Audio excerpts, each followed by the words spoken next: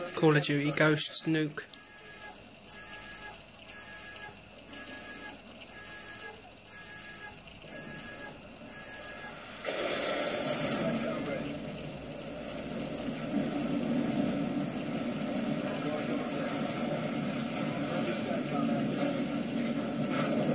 That's the nuke from Ghosts.